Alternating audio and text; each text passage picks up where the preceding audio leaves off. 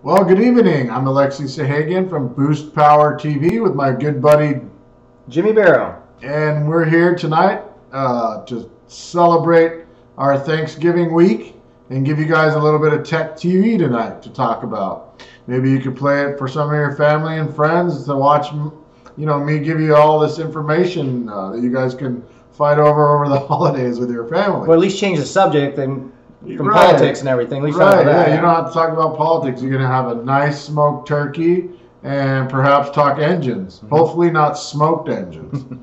so, tonight we got a whole bunch of questions um, that we're getting through from last week, and no big events coming. A lot of people are just kind of doing their last weekend of boating with the weather coming, and uh, a lot of the hot subjects are winterizing. A lot of folks have been emailing in questions to Boost Power TV at boostpower.com talking about winterizing. So I wanted to touch on that for a quick minute before we go through some of the subjects that we have written in that Jimmy's going to go over. Mm-hmm. So I always tell people it depends on where you're at to how to winterize. It really depends on the climate. So like where we are here in Southern California, it really doesn't get that cold. So I always tell people, you know, drain the water out of your headers, drain the water out of the block, and plug a trickle charger in, and you're good. Um, every once in a while, maybe rotate the engine and do this, that, and the other, just kind of check up on things. But, you know, you could be only, you know, 200 miles away from us and the temperatures dip into the 18s or below zero. Like if you're in the altitude, if you're in Lake Arrowhead or if you're in Paso Robles up in the hills or, you know, anywhere, San Francisco area, it gets a lot cooler Lancaster and just yeah, just Lancaster nearby. So uh, you know, if you're if you're in near freezing, you got to you got to make sure you drain all the water out of your engine for sure, and the lines. A lot of people leave their exhaust manifold lines off through the winter. They drain their oil coolers. You know, a lot of people think you drain the engine and it's okay, but if you don't drain your oil cooler, anything that's sitting that can't expand is going to freeze, crack, and cause all kinds of issues. Oil coolers are like a little sneaky little sucker because they crack inside there, the tubes, and you don't know until you're running along in the summer and all of a sudden you start getting water in the oil, and then more and more and more and more. I mean, you always are going to get condensation running through your oil till you warm it up. So that kind of happens. So don't panic there. But what you don't want to turn is bright white and all of a sudden not know where it's coming from. So keep in mind what your climate is and talk to your local service center or your engine builder and let them suggest what to do. But the main thing is water freezes and the engines don't like to sit in one place. The seals will develop spots in them where they'll leak when you start them up. So try to rotate your engines every so often. And if it's a real high performance engine, loosen the valve or loosen the valve covers, take them off, and then loosen all your rocker arms and either take them off or you know get all the pressure off the valve springs if you know how to do that. Because you don't want a saggy valve spring. That could cause a disaster. So anyway i wanted to touch on that um, just a little bit. We've talked about it before but we want to make sure now that we're coming into the season and actually we've gotten a little bit of rain here in southern california about three or four good ones about three quarters to an inch which is huge for us right now. So maybe the lakes will actually fill up so anyway, let's get into some of the questions, Jimmy. What Sure. do we got? So our fir- first question comes uh, is Mark from New Hampshire and it has to do with oil pump and its wear. And he's asking about bl- uh, blueprinting and customizing uh, oil pumps, which I thought was, was a great question. I had no idea that that's something you even do. Can you tell us about that a little bit? Right. So some of the high performance engines, you know, you see these ads where people say, "Oh, uh, I have a high volume oil pump or a high pressure oil pump." You know, or a lot of the a lot of the times you could take a stock oil pump and you can machine the the base of it and modify some things with the gears and springs and you know hop them up for more pressure and volume. Um, so inside the pump, you guys have probably seen these gear sets. This is basically the inside of a of you know either a wet or dry sump oil pump system, and it's basically two gears, and as they you know move across uh, each each other, they create a vac you know a vacuum and a pressure state for moving oil or any type of fluid, you know, as a matter of fact. So um, there's different things you could do as to the clearances of these gears. You can, you know, how, how far apart they are, how tight the case is going on top on the top side of it. So the tighter the clearance, usually the you know it's a more of a sealed pump.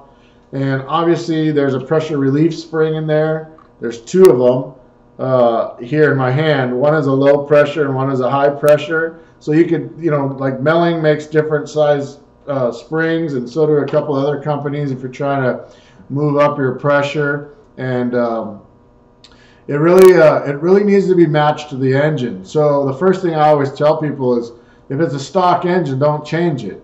If for some reason you want to turn up the pressure 10 pounds or something, then you could change the spring or even shim these springs with a washer. At times that works too. But it's when you get into having big lifters or you know extra piston oilers uh, or you know any kind of like you might have valve covers that have oil sprayers in them where you need an extra volume and an extra amount of pressure or a really long set of braided lines going to a remote mounted oil cooler a lot of times when it's far away you know you can get a pressure drop based on length of the uh, system so therefore you have different requirements for your oil pump now keep in mind on small oil pan boats sometimes you have these pressure springs and when you're running high RPM, a lot of times the oil pressure can actually start creeping down. But you just want to make sure it doesn't creep down to where it doesn't stabilize or stop. I mean, how do you experiment with it? I mean, obviously, it's not one of those. It's not a bolt-on item that you can reach in the engine, and, and you you know you got to pull it out, drop oil pan, and you know to make a change. I mean, so that entails a lot of work just to do some experimenting. Yeah, well, we do this thing called dyno testing. That's our experimenting. but uh, for the average guy building a motor, you really need to know the combination and how much volume your engine requires in oil. Because if you have too much oil pressure and it's not set up to receive it, you could actually be uh, reducing the amount of horsepower and putting quite a load on your system. I mean, we've seen uh, engines where you fire them up, they have 50 weight oil in them, and guys start running them without heating the oil up, and actually the distributor will come loose timing will go off, and all of a sudden their engine's not running. And they don't know why. Well, it's combination of thick oil, not warming it up, and having an oil pump that's putting too much backload on the uh, on the system. So I mean, it gets pretty uh, pretty technical figuring it out. But we wanted to make sure you understood that these are the two components inside the pump that turn that create the oil pump's uh, basic you know function. And then there's the pressure relief springs um, different colors or for different typical pressures. And with those, you can do a lot, along with some modifications to the actual housing. Um, th there's all kinds of trick things you could do to a stock pump or an aftermarket one, which basically has the modified clearances, better springs, different pressure relief valves, and obviously a bigger in and outlet. So hopefully that gives you an idea of some information that you're looking for on oil pumps and the basic function of the springs. Yeah. All right, so what else? So our next question that was written in by Tony, he's from actually Lake Tahoe area, and it has to do with battery voltage and specifically with EFI motors. And he wants to know, is there a specific battery he needs to use? You know, what, yeah, what is it? Is there a specific battery you need to use for, for, for that type of a, a motor? Okay, so you mean like an EFI system? So basically, yeah. the question is, do you know is there a specific battery or voltage required for an EFI environment? So we get this question for sand cars, we get this question for boats, hot rods, and pretty much anything that sits for a period of time. It's funny we talk about sits for a period of time because if you think about it, uh, you know, I'm going to skip around here for a minute, but a lot of guys used to say, ah, I'm going to get a really nice boat, but I'm not going to spend too much money on the trailer. I only tow it from point A to point B, and I don't really care what it looks like. And I'm saying the boat lives on the trailer more than it lives in the water, and mm-hmm. it's amazing if you have a trailer that the bunks are not correct, it can actually imprint the bottom of the boat yep. and cause handling issues. So, you know, it's the same thing with batteries and battery power. So, you know, you fire up your boat, it's been sitting for a while, you have to jump start it or charge it for a half an hour to get it to even start. And then you go out and you're running around, and of course, you're charging, but what you're not realizing is you're overloading your alternator because it takes quite a quite a long period of time to bring a battery back up that's pretty far down, assuming it's good. And if it's on the fence of being bad, you're really basically telling your alternator to go wide open, maxed out. And at the same time, every time you put up your trim on like a number six drive boat or a Bravo drive boat, it's pulling quite a bit of load out of that battery. And you know, eventually you'll feel the power change in the motor because you're drawing it away from the engine if the battery's bad. And low voltage and EFI and electronics in general do not work well at all. Causes all kinds of drama and weird things going on. So my suggestion is get yourself a pigtail on your setup and plug in a battery charger, whether it's one of these pulse chargers or just a regular battery tender type. And always keep your batteries tip top. Now there's a lot of folks that have storage facilities that do not have power. That's a problem. Perhaps you can rig up some kind of a solar one up on top and wire it down to your boat mm. or something. Or we have a lot of customers who actually will remove the batteries and take them and put them in their house garage on a trickle charger. Just plug them into one of these and go ahead and charge it. And that way they know that every time they come, they have a fresh charge and usually there's no drama with the batteries. Now remember, different batteries take different periods of time to charge. There's gel batteries, there's AGM batteries, there's wet flooded batteries, there's deep cycle, non-deep cycle. Um, you know, just make sure you use a quality type of battery. A lot of times, you know, our joke around here is uh, the cheaper the battery, the better, but it's really not true. But a lot of times, the regular batteries seem to work the best. Just a regular marine battery, not some wazoo crazy, you know, battery. But on the high performance side of things, we definitely use an Odyssey battery. We like that the best here and we have the best results with them. But it's critical as to what type of charger you use. So if you use the wrong charger with the best battery, that could be a disaster too. You could, you know, have all kinds of issues. So you need what's called a smart charger and hopefully one that pulses. This particular one pulses, and what it is is this is made by Granite Digital, and it's called Save a Battery. You've probably seen them in the uh, magazines before. It's a good little unit, and what it does is it cycles the voltage and the amperage up and down and up and down and up and down instead of a steady state 12 or 13 volts. Mm. And what that does is it breaks up, say, the, the, I'll just use the word carbon deposits on the plates in the battery, and it actually rejuvenates them. You can actually take a completely dead battery and bring it back to life. So if you have a battery that's on the fence, you can actually revive it with a product like this, a cycle charger or a pulse charger, and you can Google that. Yeah, I mean, I also heard the batteries have memory too. Like, I mean, I, am not speaking so much on the vehicles, but phones or whatever. Especially uh, several years ago, I think the newer batteries are, are, better, but the older ones, it was like you could never let it either drop down to a certain voltage or keep it charged all the time because there was something to do with battery memory that would, you know, be basically there's a threshold. It's not necessarily memory. If, you get a you get to a point of diminishing return, if, if the battery gets down too low, um, with a regular charger you can't get those deposits we talked about off the lead plates. But with a pulse charger, a lot of times you can't. Not always, but a lot of times you can. And that's what I'm talking about by reviving a battery. Okay. But remember, the main thing is you have two or four batteries in most boats. You want to keep them as charged as possible because as soon as you don't want to be coming to your vacation and charging your battery for the first seven hours of your trip while you're driving because what do you do you launch your boat then you come back and you shut it off load everything start it back up you go out and really you haven't charged the battery yet you've started it and then you've driven it for five minutes and then shut it off and then you start it again and you go to your hotel then you shut it off then you get back in and turn it on they need a good hour. Like you got to be if you if you're gonna put your boat in the water and go drive for an hour or so and not use your stereo and not use your day or night running lights or any electronic trim or anything at the minimum, then I'd say you might have a chance. But if you're asking your alternator to do all the work, you're going to A, burn up the alternator and not know why.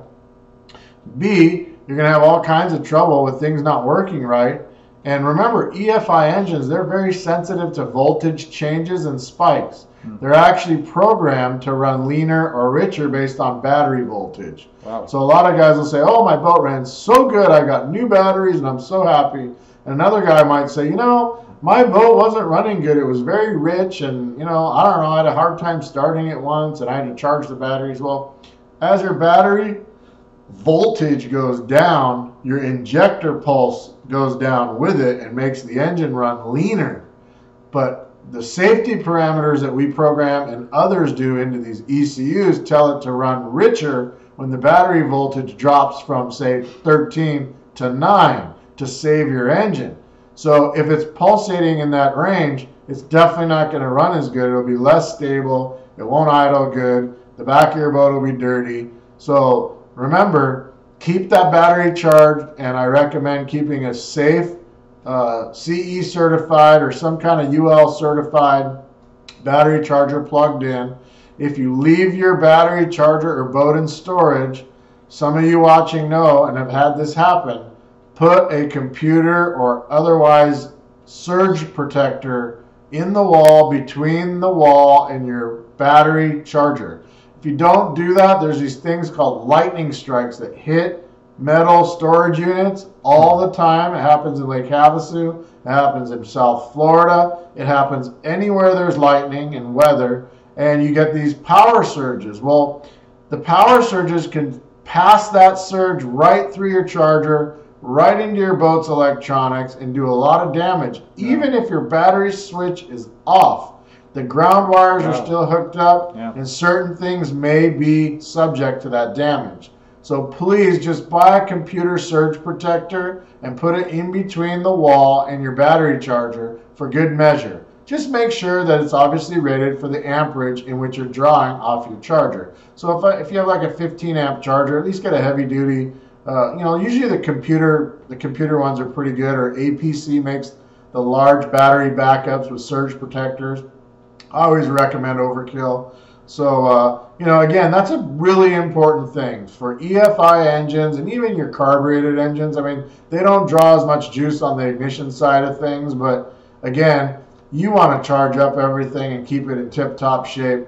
Charge the batteries. One of the best things I think I ever bought for my boat was I bought a built-in battery charger, and it's good for two two batteries. So it's just mounted on the on the in the back wall, and it's hardwired to the batteries. And I got a, a cord, and about you know the day before or half a day before I take out the boat, I plug in the extension cord to it and let it charge up. Right, so that's an onboard battery charger. So that's one that there's the onboard style, and then there's obviously the type you clip on. But a lot of times people clip clip it onto one battery, and they're not they don't have the battery switch on all, so it's only charging one battery. Then you have an imbalance when you go out to run it. That's another thing, you know. If you're going to charge a battery that way, then charge one for an hour and take it off, put it on the other one. Don't put them together because that's that's usually no good unless they're equal. So a lot of the smart chargers, they can charge dual batteries without the battery switch on, depending on how it's wired. But they can keep, char- you know, like they'll stop charging one and then wait till the other one comes up and then charge both. They, they have a cycle and a little circuitry that allows for the proper charging of the battery system itself. So Yeah. do a little research on that.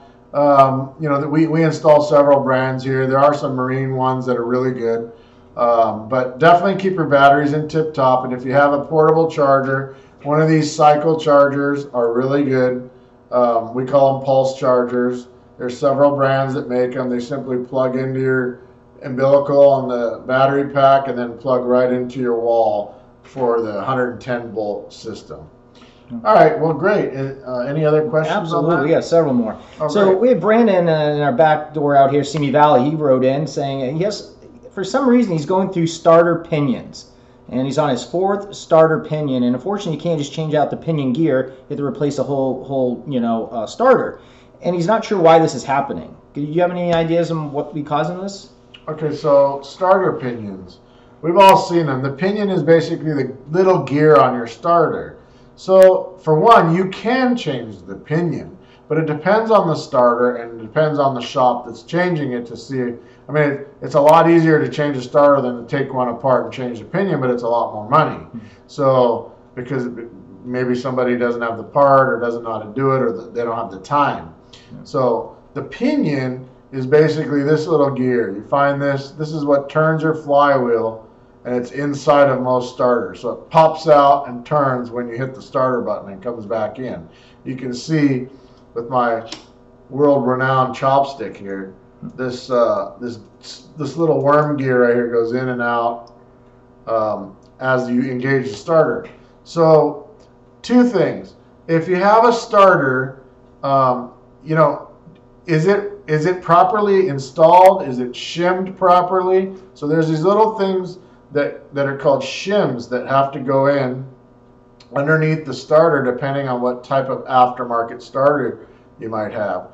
And there's a process with a rolling or a round type feeler gauge. There's a clearance that you set between this gear and the flywheel engagement right in this area. So you can actually pull it out manually and measure it if the engine's on the ground. But if the engine's not on the ground, which is 90% of the time you're changing a starter, I always recommend just putting a, a, nose cone starter on, like a GM type starter or whatever the manufacturer used originally on that block, because usually they don't have any grinding problems. Now, you're limited to the type of performance you can get out of some of those unless you go to a custom aftermarket starter.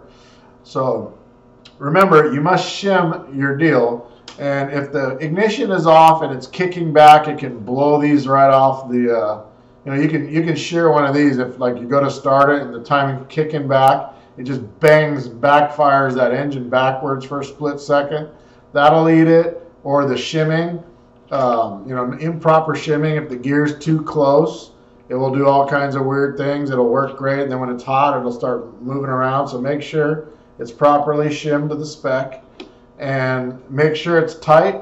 And the other thing you want to look for is the mounting bolts. A lot of times they come with mounting bolts and people put them in and don't realize that they might be 30 thousandths too long. And if they're too long, then the starter's loose in there. It's mm. not that, I mean, you can grab it and it feels tight, but when you actually hit the key, that starter's moving, it's walking around. So make sure you get a good depth on what it's supposed to be hmm. and make sure it's torqued and secure and uh, those are things to look for if you're eating up pinion gears. And remember, at $250 a pop, I would basically take your old starters and just find a rebuilder and just have them change just the pinion gear.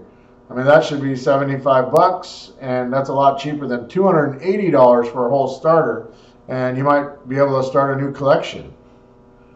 So hopefully that answers your question on that. Yeah. All right. What do we got? So our next question comes in from Michael from uh, Lake Havasu, Arizona, and has to do with timing chains. Uh, he's rebuilt. He rebuilt his engine. and He had the machine, uh, the block all machined, and for some reason the timing chain's all loose, and he, he's not sure why that's happened. All right. So he had an engine rebuilt, mm-hmm. and he put a brand new timing chain on it, and it's loose. So that's got to be a bummer because you know you're looking at it going, geez, it's a new chain. It's a you know how many times we've gotten calls, ah, the chain you sold me is faulty. It's too loose. And then you know when you start asking questions, of course the story changes. So for this example, I'm going to just use these oil pump gears again. So let's just say that the top is going to be the camshaft and the bottom is the crankshaft and he's saying he had his engine rebuilt. Well, when you line bore where the crankshaft goes, it moves up, right? You're line boring it so the clearance moves up. The crankshaft is actually moving up toward that fixed cam. So obviously that means that they're closer together. So if they're closer together, the standard stock timing chain, this one, will be too long. If it's too long, then you'll have all kinds of slop in it and you'll be driving yourself nuts going, oh my gosh, do I use this? So there's a product which is the, this other chain and it's it's they make them in increments like 10 under 20 under and there's all kinds of custom ones out there they're shorter so what you need to do is ask your rebuilder how much they took off when they line bored your block um, do you recommend a 10 under chain? Or you can kind of tell if it's really sloppy you almost have to buy just the chain. So this is a 10 under chain. It looks exactly the same, but it's 10 thousandths shorter than the other one. So to make up for that, for that uh, moving the crank up, they shorten the chain, and now you should be tight again. So that's the deal. You need to make sure you check that with whoever does your machine work before you spend all this money on you know high performance chains and stuff. You need to know whether you need a 10 under chain or not. I don't recommend using anything really shorter than a 10 under chain because that means they've really done a lot of uh, grinding there and machining. But um, that's the deal with the chains. You, you really have to. Uh, there's a measurement. You can take the center to center measurement and then talk to like Cloyes or Rollmaster or one of those companies that makes most of the chains out in the world, and you can get some technical information from them. Um, but you know, even if your cam bearings are totally worn out and you line bore at the same time, a 10 under chain might be loose. So really investigate what you're doing and always check the sprockets and make sure that the chain you're getting is compatible. Because mm. a lot of times people will buy, say, a Comp Cams chain and put an Isky 10 under, you know, uh, sprocket set on it, or vice versa. They'll mix them up, and they don't all mix well. So make sure you stick with the brand of your gear set. Okay. So hopefully that, yeah, there's, you know, you get a little insight on that. Yeah, yeah, definitely learned something there. So our next question is John out of Texas, and has to do with dipsticks, both transmission and engine. Ah, dipsticks. He's got a small jet boat, and for some reason they keep working themselves out. What's what's working out? The dipsticks. Oh, they're they're popping out of yeah. the the holder. He yeah. says. All right, so well, smaller boats we all know vibrate around because they're obviously 16 or 18 feet.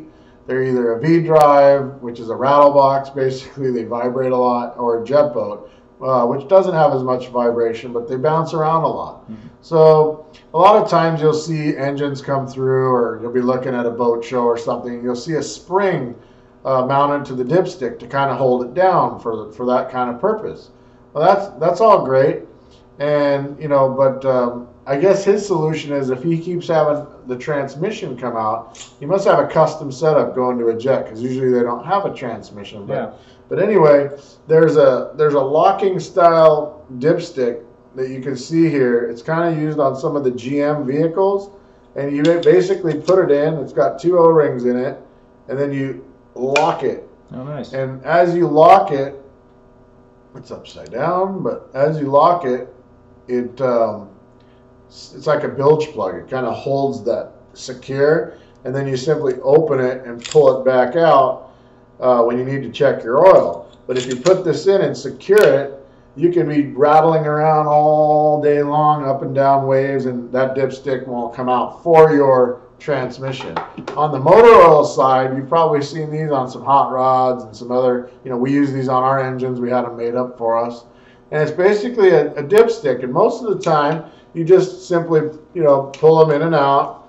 And, you know, a lot of times if you have a lot of crankcase pressure or a boat like his that's vibrating, you'll find them like this in your bilge, you know, or they'll just be sitting kind of like mm, out. You might find a tiny bit of oil under them. Well, this particular one is made by Lokar, and they make it for us. And it, it's like an air hose attachment. You push it down and it locks in, and it actually locks that deal in. It cannot come out from any crankcase pressure nothing. It won't come out until you actually pull it like an air hose back and then release it. So again, you put it in, let go, and it locks it, and then you slide it back and open it, and it comes out. The other beauty of this type of setup is, depending on your oil pan, there's a tube in the pan, and you can actually open this and put an attachment in here and suck the oil out of your engine. So it's a multi-function that we had made but this is a we have a universal one of these that works really good on on all kinds of boats. So that's clean. Yeah, it's it, this great. is a clean setup. But yeah. I mean, a regular dipstick with a spring works too. It's just kind of the old school way to do it, and we thought we'd make something a little different, and we used the guys at Lokar for that. They did a good job for us. Mm. But um, you know, smaller boats they're going to bounce around, so that's going to happen. If you have an excess amount of crankcase pressure and not enough ventilation on your valve covers, it's possible that you might, you know, get something pushing on, on a regular loose dipstick. Sometimes, uh, you know, it just depends on uh, the whole setup. But I recommend looking into some of those products for your small boat. Okay. Awesome. Any other questions? Cam? Yeah, yeah. So this next one is Dale Beck from Pomona, and he has a 502. And uh, recently he changed out his cam and valve springs, and for some reason he's bending push rods. His mechanic is telling him you're, you're bending push rods here, and uh, he doesn't know why. Right. So he changed the cam and he changed the valve springs, and he's uh, does he have stock push rods? Didn't say. Uh, actually, no, you're right. They were they were stock. It's stock Yeah, push yeah. rods. So a lot of times people change the cam, which is fine, and maybe I'm gonna I'm just gonna take a wild guess that it's probably like a GM motor with the 502, yeah. If it's a 502, it probably has the stock lifters that are bolted down with the little crab cap thing, the, the girdle or whatever that's holding it down. A lot of times people change that camshaft and then they put a heavier spring in, but they use the stock automotive push rod. And what happens is, you know, depending on your valve spring pressure, you're now increasing the load tremendously on the push rods, especially in a marine application. So I always recommend going to like an 80 or 120 thousandths thick aftermarket push rod. This particular one is a used Comp Cams one. Uh, Manley also makes a great selection of these, which we use here at Boost Power, along with Manton and a lo- lot of other custom manufacturers for the super high-end tapered style.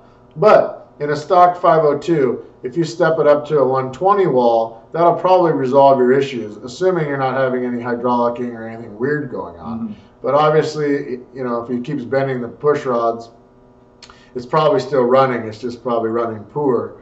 We'd have to get that information. But remember, when you increase cam or spring pressure, just think common sense. You're sending that increased pressure somewhere, and it has to be able to be sustained and absorbed somewhere.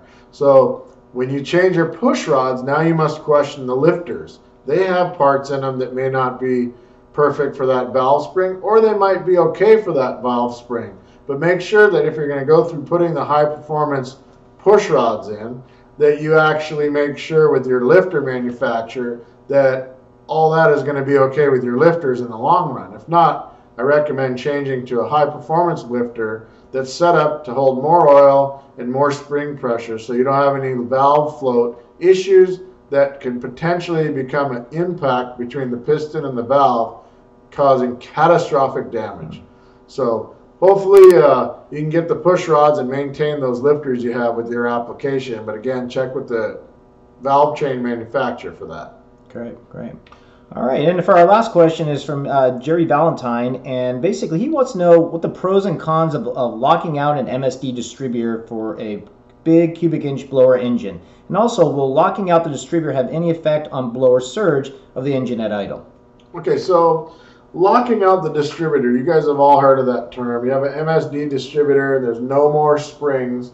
This piece here has been taken out and flipped over and brought back in, and there's no movement of the rotor. It's solid. There's no more springs, no more bushings. This thing is solid. And in fact, when you lock out an MSD distributor, there's a little bit of play you can see in there. So sometimes here at Boost Power Marine, we weld this and make it a permanent fix so the timing cannot move at all. This is about a three degree uh, amount of play in these things, and I don't like that. Yeah, that's So um, you may, you know may look into that when you lock out your distributor. Now, a locked out distributor. It depends on the ignition box you're running. Some ignition boxes, like a Digital 6 uh, MSD, have a start retard function. Uh, that, that it automatically, when you first key it on and start it, it pulls six degrees of timing out, so you can actually spin the motor without it doing that grunt, that you know that surge. So if you have a setup like that and you just want a stable 30 degrees of timing, you can run it locked out. Personally, I don't lock all my distributors out for carbureted. I like to have, you know, about a 15 degree swing and I like it all in, you know, at, at, at about 3,000 RPM. But what you have to make sure is that when it's at idle and if the carburetors are set up right, you have to make sure that you want to avoid the surge. If you don't like the surge in your engine and you're trying to stabilize it, you don't want the weights of that distributor moving back and forth. So that'll just accentuate the surge. it's moving your timing somewhere between 5 and 8 degrees as the carburetors being unstable are doing the same thing on the air fuel side. So what I recommend that you do is put a heavy enough spring to where it's fairly stable at low RPM, and then as soon as you bring it up to about 3,000 or 3,200, it now advances to the full amount. It's one of those deals where it really depends on the whole setup of the engine, including the air cleaners and how the airflow oh. goes through the engine, because the surge doesn't usually start at the ignition. It usually gets amplified by the ignition. It's usually the amount of air going through the venturis and the blower together being loaded at idle causes it to surge. Now, if you run a bypass, uh, my good buddy Dustin Whipple makes a bypass kit for the supercharger engines for the root style blowers that bypasses the load back underneath the blower that you see on some aftermarket superchargers.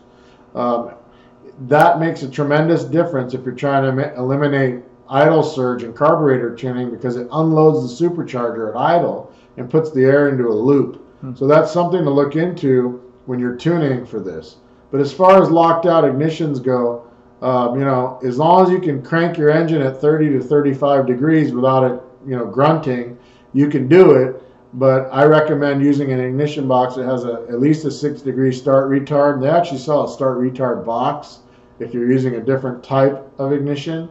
But um, you know, there's nothing wrong with doing the springs as long as your carburetors and the fine tuning of the idle is set up. The larger the cubic inch engine actually makes them idle better because it's pulling a lot more air through the venturis of the carburetors that are usually limited to 1200 CFM for the most part.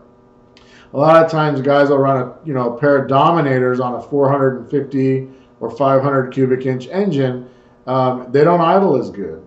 So I always recommend going with a smaller carburetor because if you do some mathematics, you can soon figure out that you don't necessarily need all that carburetor for what you're doing. And if you can match that idle vacuum properly, you can get those things to idle and be a lot more snappy um, with it, with the smaller carburetor. And it also eliminates the surge and will allow you to run more of a narrow uh, ignition curve or close to being locked out. But remember, as soon as you come off idle and you're about 2500, you're already going to be at your max timing anyway. So unless you're worried about zero to 100 feet power, um, I would not recommend locking out an ignition in today's world with all the technology that's available with ignition systems. Um, uh, unless you're drag racing, then you may want to have that immediate 30 degrees right off idle um, setup, but they do idle a little rougher. And again, it depends on your pulses with your camshaft and everything else. So just make sure you kind of evaluate your entire setup before you make a decision on how to do it. And keep in mind when you lock out an MSD distributor or any brand distributor, if you want it to be rock solid, you need to do a little tack weld on that deal because there's already play in the timing chain, there's already play in the timing gear, and now that you have that thing moving, now you have a total of five degrees that thing could be moving back and forth between all those parts. So it's it's one of the re very reasons that we use crank triggers on EFI engines because it's on the crank. It will not deviate. It won't move. It's precise every time. So you know, with an MSD, you can also do a four magnet crank trigger and trigger your ignition box with it that way, and it's the most accurate. So, anyway, I hope that gives you some ideas. I believe that's the last question yeah. for tonight. If you folks out there watching and you have questions you want us to mention your name or you have a product you want us to review or discuss, you can simply email boostpowertv at boostpower.com and we'll be happy to review it and go over it and hopefully give other people watching some insight on high performance tech TV. All right, I'm Alexi Sahagian, and that's Jimmy Bureau. And we'll see you guys next week. Have a great Thanksgiving and talk to you soon.